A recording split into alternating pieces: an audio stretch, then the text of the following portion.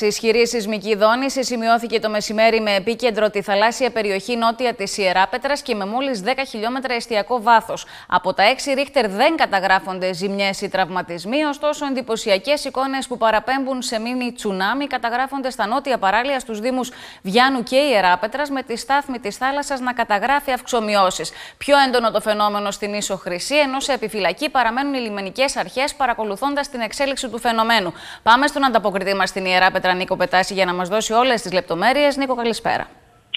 Καλησπέρα, Στέλλα κυρίες και κύριοι. Πράγματι, στις 3 και 51 πρώτα λεπτά το απόγευμα καταγράφηκε η ισχυρή σεισμική δόνηση των 6 Ρίχτερ, 64 χιλιόμετρα νότια της Ιεράπετρας, έχοντας ωστόσο μια ε, ευεργετική, ε, ένα ευεργετικό μαξιλάρι το εκείνο της θάλασσας, ο σεισμός δεν προκάλεσε κανένα ε, πρόβλημα, κανένα, καμία ζημιά καθώς ε, η απόσταση των 64 χιλιόμετρων ε, ευτυχώς ε, βοήθησε ώστε να αποσβεστεί η δυναμική του.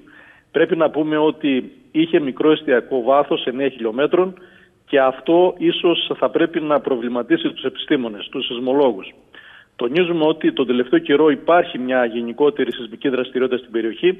Ιδιαίτερα το τελευταίο 48ωρο είχαμε αρκετούς μικρούς σεισμούς στη Νότια Κρήτη και κάτω από το από το νομό Ηρακλείου και κάτω από το νομό Λασιθίου, ενώ τις τελευταίες ώρες και μετά το μεγάλο σεισμό καταγράφονται μεσαίας έντασης ε, μετασυσμικές ζωνήσεις της τάξης των 4, 4,1, 4,4 και 4,8 ρίχτερ. Εδώ στην Ιεράπετρα η αίσθηση του κόσμου ήταν ε, εντελώς ε, ε, γλυκιά να την πω έτσι, καθώς ε, η μεγάλη απόσταση και η θάλασσα βοήθησε έτσι ώστε να εκτονωθεί η ένταση του σεισμού. Εδώ ο κόσμος αντιλήφθηκε τη δόνηση πάρα πολύ χλιαρά, χωρίς να έχει βουητό, χωρίς να τρομοκρατηθεί ο Γεραπετρίτης, ο οποίος ε, κατάλαβε τι συμβαίνει και πάρα πολλοί μας λένε ότι δεν ένιωσαν εντελώς τίποτα. Είχε μεγάλη διάρκεια δηλαδή, Νίκο, καταλαβαίνουμε από τα όσα μας περιγράφεις, αλλά δεν είχε μεγάλη ένταση και δεν προκάλεσε τρόμο, πανικό. Ακριβώς. Είχε μεγάλη διάρκεια, ε, κράτησε περίπου ένα λεπτό, ενώ δεν είχε βουητό, δεν, είχε, ε, δεν, δεν τρομοκράτησε τον κόσμο. Αυτό φυσικά θα πρέπει να ε, το χρεώσουμε στη μεγάλη απόσταση όπως προείπαμε και βεβαίως στη θάλασσα το υγρό στοιχείο πάντα βοηθάει την περιοχή της Ιεράπετρας να μην έχει ε, ζημιές από τέτοιους σεισμούς. Βέβαια ξέρουμε ότι η περιοχή της Ιεράπετρας και ολόκληρο το νότιο ε, παραλιακό μέτωπο, είναι στη ζώνη επικινδυνότητας, είναι μια σεισμογενής περιοχή, έχει καταστραφεί σε πολλές ε, περιπτώσεις στο παρελθόν. Από την ιστορία γνωρίζουμε η αρχαία Ιεράπετνα, ωστόσο από, το, από τα τελευταία 20-30 χρόνια η νέα Ιεράπετρα η οποία χτίζεται μέσα από τους νέους κανόνες δόμησης δεν έχει να φοβηθεί τίποτα, τα κτίρια είναι πάρα πολύ ε, δυνατά, χτίζονται με τους κανόνες του γενικού οικοδομικού ε, κανονισμού έτσι δεν υπάρχει ιδιαίτερη ανησυχία στην περιοχή μας. Ωστόσο ο Δήμος Ιεράπτρας προληπτικά κάλεσε τον κόσμο να μην ε, κυκλοφορεί στην παραλιακή ζώνη μετά το σεισμό, καθώς υπήρχε ο κίνδυνος να δημιουργηθεί κάποιο πρόβλημα με κάποιο τσουνάμι. Ε, και βέβαια ξέρουμε όλοι από τις εικόνες που είδαμε Στέλλα ότι δημιουργήθηκαν κάποια προβληματάκια στο λιμάνι της Άρβης όπως είπες και Παρακολουθούμε τώρα τις σχετικές εικόνες που έχεις αρχίσει ήδη να μας περιγράφεις Νίκο Πετάση. Οι εικόνες που βλέπουμε είναι από το αλλιευτικό καταφύγιο στην Άρβη, ε, στην περιοχή στα νότια παράλια του Δήμου Βιάνου, που εκεί οι κάτοικοι κατέγραψαν το φαινόμενο με τη θάλασσα να παρουσιάζει αυξομοιώσεις. Θα πρέπει να πούμε ότι και στη Χρυσή υπήρξαν ιδιαίτερα εντυπωσιακές εικόνες, Νίκο. Ναι. Υπάρχουν κάποια παιδιά τα οποία κάνουν διακοπές ακόμα και το χειμώνα στην Ίσο Χρυσή. Με τα φωσκωτά τους λοιπόν είναι και παραμένουν για πολύ καιρό στην περιοχή. Είδαν μετά το σεισμό στην περιοχή Σπήλιος όπου υπάρχει ένα μικρό λιμανάκι το νερό να χαμηλώνει και τα σκαφάκια αυτά τα μικρά να κάθονται πάνω στην άμμο. Είναι πολύ χαρακτηριστική η εικόνα που παρακολουθούμε ναι. αυτή τη στιγμή στις οθόνες μας, το πριν και το μετά. Βεβαίως. Ε, επίσης εδώ στην Ιεράπετρα το λιμενικό ε, κατάφερε μετά από λίγες ώρες να καταγράψει την αυξομοίωση της στάθμης της θάλασσας γύρω στους 30 πόντους. Έτσι δεν είχαμε κανένα παράξενο ε, στοιχείο να θορυβήσει τους ψαράδες της Ιεράπετρας.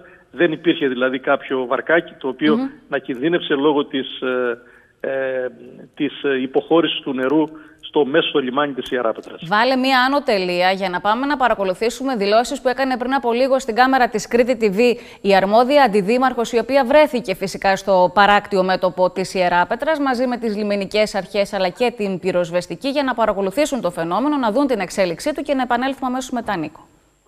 Ε, έχει δημιουργηθεί παρόλο ένα ιδιαίτερο φαινόμενο στο αλλιευτικό καταφύγιο της ε, πόλης μας ενώ δεν είχαμε κάποια ιδιαίτερα προβλήματα είτε σε σπίτια είτε σε ανθρώπους έχουμε αυτό το φαινόμενο του, στο αλλιευτικό καταφύγιο που εδώ και δύο ώρες περίπου ανεβαίνει και κατεβαίνει στάθμη του νερού κατά 30 εκατοστά. Έχουμε μια ενημέρωση από το νησί Χρυσή ότι ε, είχε αδειάσει ένας μικρός χώρος εκεί στο βόρειο, στη βόρεια πλευρά του νησιού μας έχουμε ένα μικρό λιμανάκι το οποίο άδειασε εντελώς από το νερό ε, αυτά συμβαίνουν αυτή τη στιγμή στην πόλη της Ιεράπετρας. Σας ελπίσουμε ότι δεν θα έχουμε κάτι πιο ε, δύσκολο ε, και ανησυχητικό ε, εκτός από αυτό το φαινόμενο που συμβαίνει τώρα. Τώρα, Νίκο, βεβαίως η όλη ε, σεισμική ακολουθία αλλά και το συγκεκριμένο φαινόμενο έχει τεθεί στο μικροσκόπιο των επιστημόνων. Παρακολουθούν και από ό,τι λένε μέχρι στιγμής δεν υπάρχει ανησυχία. Έχει μιλήσει ο Διευθυντής Ερευνών του Γεωδραμικού Ινστιτούτου, κ. Χουλιάρα, ο οποίος έχει πει ότι παρακολουθούν από το Γεωδραμικό Ινστιτούτο την ε, μετασυσμική ακολουθία. Ε, είναι λογική, είναι ομαλή, δεν ανησυχούν καθόλου οι σεισμολόγοι. Θεωρούν ότι εκείνος ο σεισμός της 4 ε, παρα 9 πρώτα είναι ο κύριος και βέβαια περιμένουμε μετά τα 4,4, 4,1 και 4,8 που ήταν οι κύριοι μετασυσμοί να έχουμε μικρότερη έντασης σεισμούς όσο περνάνε οι ώρες. Νίκο, να σε ευχαριστήσουμε πολύ και εμείς, κυρίες και κύριοι, να πάμε να παρακολουθήσουμε τι δήλωσε νωρίτερα στην Κρήτη TV και την Έλλη Κοκάλη ο Κωνσταντίνος Σινουλάκη, ο γνωστός καθηγητής ε, φυσικών καταστροφών, σε ό,τι έχει να κάνει με το φαινόμενο που παρατηρήθηκε και τη στάση των πολιτών.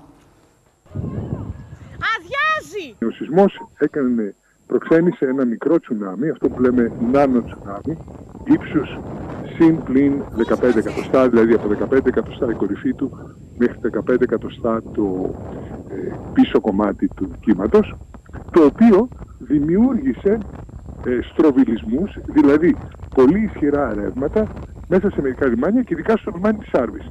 Φαίνεται πως το λιμάνι της Άρβης είναι ιδιαίτερα ευαίσθητο σε αυτού του είδους τους, ε, ε τους κυματισμούς γιατί θυμάμαι καλά ότι και στις 1η, 1η Ιουλίου του 2007 που ήταν πάλι ένα νάνο τσουνάμι που κατά τη στοιχεία αυτού είχε, ήταν νότια της Ιεράπετρας, είχε χτυπήσει την νότια Κρήτη και είχε κάνει στην Άρβη πάλι ένα, ένα μικρό τσουνάμι. από ό,τι βλέπω δεν είμαστε καλύτερα προετοιμασμένοι από ό,τι είμαστε το 2007.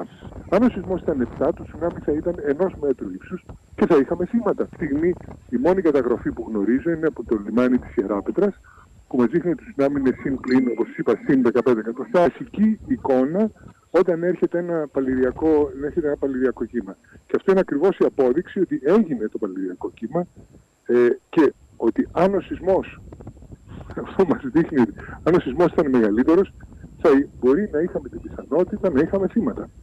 Είμαστε πάρα πολύ τυχεροί που αυτός ο σεισμός έγινε στο μέγεθος που έγινε και έδωσε μια ευκαιρία στην πολιτική προστασία και στην τοπική αυτοδιοίκηση να αξιολογήσουν κατά πόσο καλά δουλεύει το σύστημα προειδοποίησης.